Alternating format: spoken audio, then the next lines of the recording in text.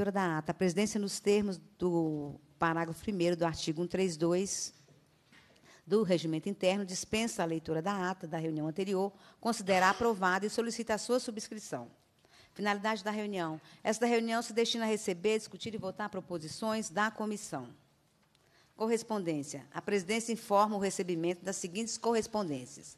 E-mail encaminhado pelo FALE com as comissões, de Marcelo dos Santos, encaminhando a esta comissão registro da reclamação enviada à Ouvidoria de Penitenciária e de Polícia referente à atuação de policiais da Polícia Militar do Estado de Minas Gerais e de delegado da Polícia Civil.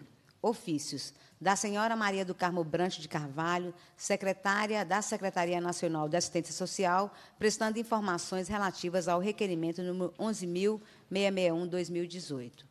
Da senhora Aida Iris de Oliveiras, diretora de Gestão Interna da Presidência da República, prestando informações relativas aos requerimentos número 638 de 2019.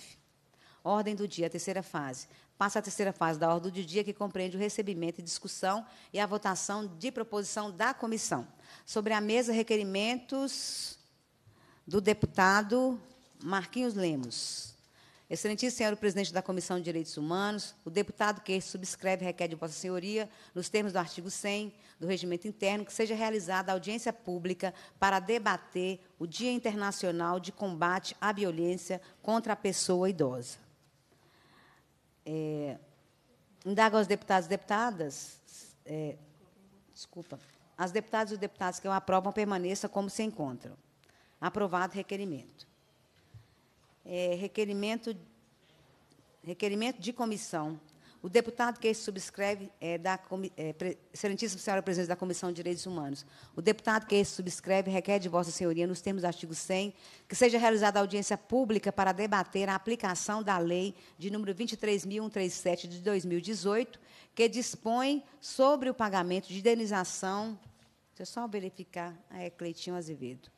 Sobre o pagamento de indenização aos filhos segregados de pais com rancianise, submetidos à política de isolamento compulsório em Minas Gerais, especialmente quanto aos seguintes aspectos. Primeiro, trabalhos da comissão de avaliação a que se refere o artigo 4 do decreto número 47560 de 2018, a fim de viabilizar ampla discussão quanto aos critérios e procedimentos que estão sendo construídos para a concessão das indenizações e o compartilhamento de outras experiências do Plano Federal, oriundos da aplicação da Lei 11.520 de 2017. Segundo, possibilidade de pagamento em parcelas da indenização que for concedida aos interessados, com vista a atender ao melhor interesse dos destinatários da lei. Terceiro, premente necessidade de inclusão na comissão de avaliação de uma nova associação criada pelos filhos, com vistas a zelar pela representação paritária de órgãos públicos e entidades da sociedade civil neste órgão criado pelo Estado. Quarto, perspectiva da necessidade ou não de esgotamento de via administrativa, a fim de que os interessados possam recorrer diretamente ao Poder Judiciário para recebimento da indenização. Quinto, formas de enfrentamento da vulnerabilidade social e jurídica dos destinatários da lei, visando que a legislação cumpra os fins a que se destina. Sala de Comissões, 10 de maio, deputado Cleitinho Azevedo. Os deputados e deputadas que aprovam permaneçam como se encontram. Aprovado o requerimento.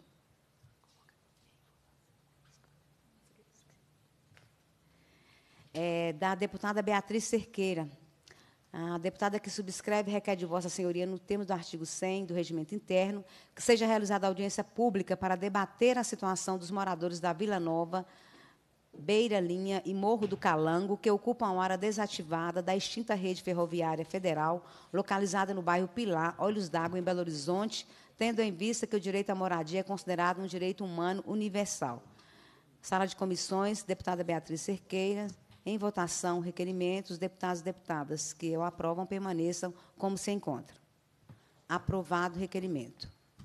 Da deputada Beatriz Cerqueira, a deputada que subscreve requer que, de Vossa Senhor, Excelência, assim, nos termos do artigo 100 do Regimento Interno, que seja realizada audiência pública para debater a situação do fornecimento de água consumida no bairro Citrolândia, em Betim, tendo em vista que o direito à água potável é um direito humano universal e há sinais de que a qualidade da água utilizada no bairro pode estar comprometida, uma vez que o abastecimento da região é feito através do sistema de captação do rio Paraupeba, afetado com o rompimento da barragem da Vale, em Brumadinho. Sala de Comissões, 17 de maio, deputada Beatriz Cerqueira. Em votação, o requerimento. Os deputados e deputadas que o aprovam permaneçam como se encontram. Aprovado o requerimento. Requerimento do deputado Claicon Franco.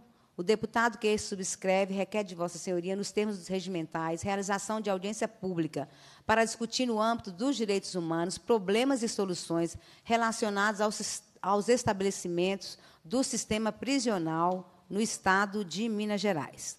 Sala de Comissões, 22 de maio, deputado Claicon Franco. Em votação, requerimento.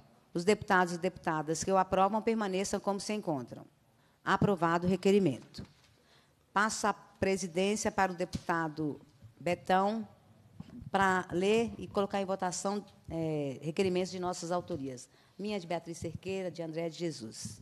Obrigado, presidente. Então, requerimento da deputada Leninha, que seja realizada audiência pública para debater os níveis de agrotóxicos presentes na água consumida no Brasil e em Minas Gerais, com base na pesquisa Por Trás do Alimento, divulgada em 15 de 4 de 2019, realizada pelas organizações Agência Pública, Repórter Brasil e Publish compreendendo acesso à água limpa e segura como um direito humano essencial.